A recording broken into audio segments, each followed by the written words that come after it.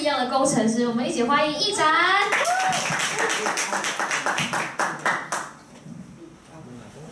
那个不见了，哦，帮我按一下。好。对，我拿手机。不好意思。OK，好。因为呃有点羞愧，因为前前几位的 PPT 都做超好，然后因为我是工程师，没什么美感，你知道吗？就上来的时候有点虚心的感觉，所以大家等一下看到如果有一些什么不好的，怎么调色配色什么，大家多多包涵一下，因为我是工程师。OK，好，好，大家好，我是一展，然后我毕业于台北科技大学电机所，对，然后我接下来要讲的就是不一样的工程师，然后我有 outline，因为我把它当做一个 present 在做，对。第一个在讲我们印象中的工程师，哎，再上一个，对。然后第二个就是新媒体学校的职工服务，然后第三个就是工程师跟科技教育。好，下一页。首先我们想要工程师，我们会想到什么？可能他就是一个宅男嘛，对不对？然后可能他赚很多钱，然后可能他的电脑就是他的老婆这样子。我们看这张图，印象中的工程师，朋友眼中的工程师就是我们就是一个工具人。对，就是大家有问题都跑来问他，对。然后在老妈的眼中，我们就是一直在打电动这样子。然后在大多数眼中，我们可能是假活子，就是我们会写 A P P 啊，会写什么东西，会做手机之类的。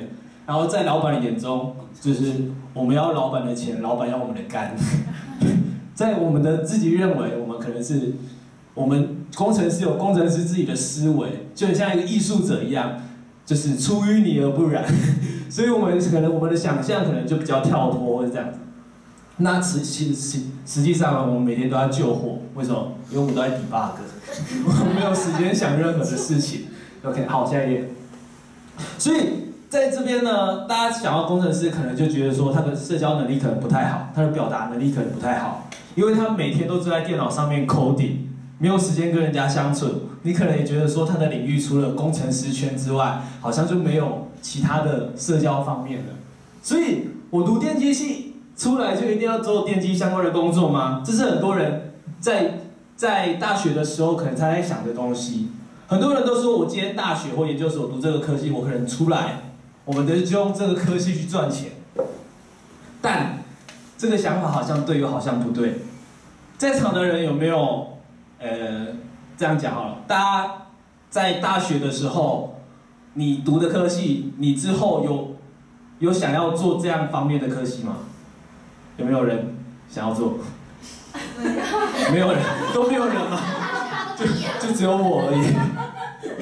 OK，好，呃，在呃数据上统计说，呃，有百分之五十三趴的人，就是他大学毕业或者研究所毕业之后，他没有走相同科系的部分。所以这其实我们当中其实只有两个人，就有一个人，他其实跟他。大学读的相同科是不一样，对，OK，所以呢，呃，我们要看一下本科系的优势与劣势。刚刚我们李校长有讲，本科系的优势就是说你早比大家早进这个圈里面，你可以大比大家早起步。但是劣势呢，就是你在这个圈里面，你有一样的思维，你不会说，哎，我今天可能用艺术人的想法去看工程师的都。工工程师的扣，或者我用一个呃可能运动人的想法去干工程师的扣，所以难道工程师就只会写程式吗？还是你只能用你大学的东西去赚钱呢？我们在这边先打一个大问号。OK，下一页。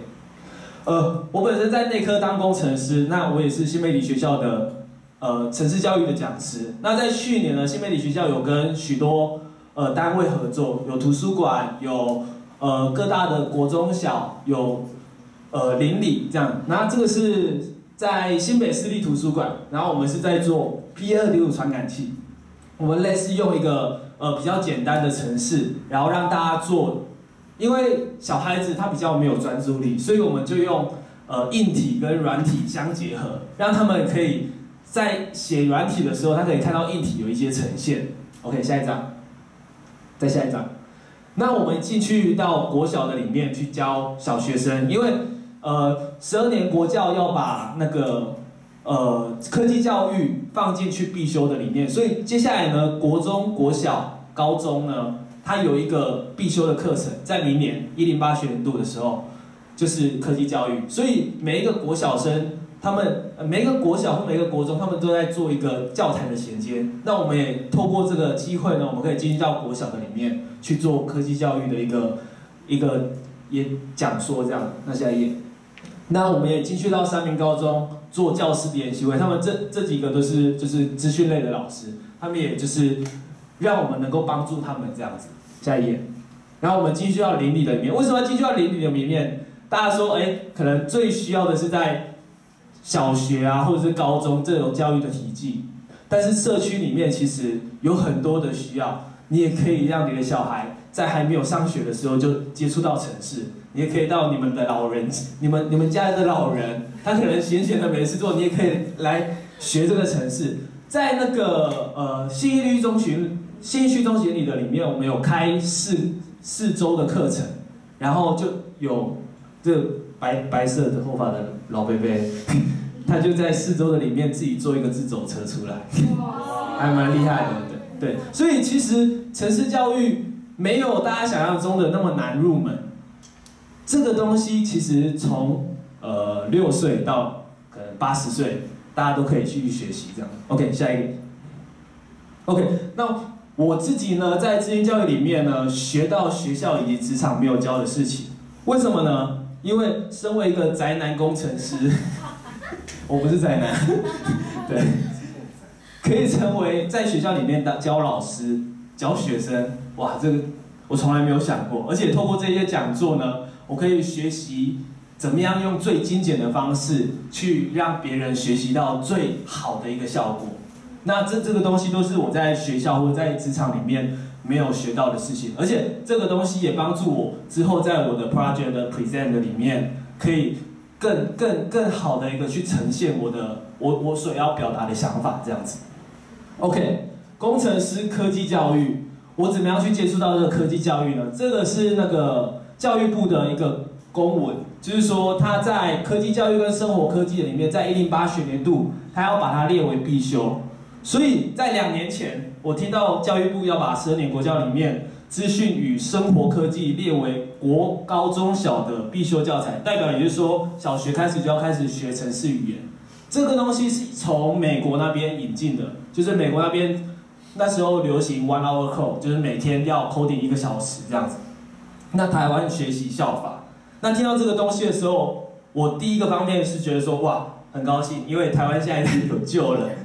为什么呢？因为传统式的填鸭式教育，就像刚刚刘璇有讲，他的暴力展开，我要九乘以九，我要一加九，哎，九加九，九加九加九，九加九加九，建构式的教育，其实限制了我们自己的一个想法，我们就只能用一个，好像是在考试里面你不会你就背起来，但这个方法其实是错误的。但在城市的里面呢，你可以用很多条路去做很多的一个变化。但是你可以都得到相同的结果，在这当中呢，我们可以帮助小学生、高中生、大学生，可以激发他们的创意。就像好像说，为什么现在政府在鼓励创业，但没有人敢创业？因为大家的思维都思维在，我就找一个好的投入，我就找了一个好的老板，然后我就坐在这个公司底下，我就不用去做什么，我就有稳定的薪水进来。对，那其中有一个。呃，另一方面呢，哦，下一页，科技教育的双面刃，就是我刚刚讲的好的部分，现在讲不好的部分，就是看现在的国中小的资讯的教材，还有国中小的老师，他们其实很恐慌，为什么？因为他们不知道科技教育到底要怎么教，所以我们刚好透过这个资讯教育的整套的教材呢，进到学校的里面去帮助学校跟老师。我们下一页。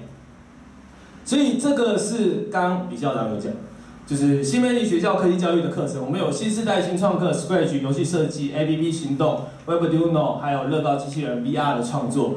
那这个东西呢，就是多元化，你可以从一开始的入门就是你的认知，然后 Scratch 是游戏的动画，然后 APP 就是你的手机，然后 Webduino 就是软体跟硬体的结合，然后乐高机器人就是。有直接的一个看见，你可以组装。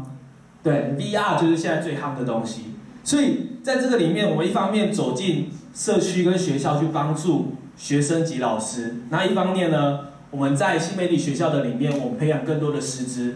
因为现在大学生出来，你可能问他说：“哎，你之后要干嘛？”他说：“我不知道。” 对，所以就帮助更多的大学生或者高呃研究生呢，他们在未来的时候找到更多的另一技之长，这样对，所以不要限制自己的思想，不要局限自己的格局，因为我成为一个不一样的工程师，期待你也可以成为一个不一样的。不不不，谢谢大家。谢谢谢谢一展的分享，他这一句。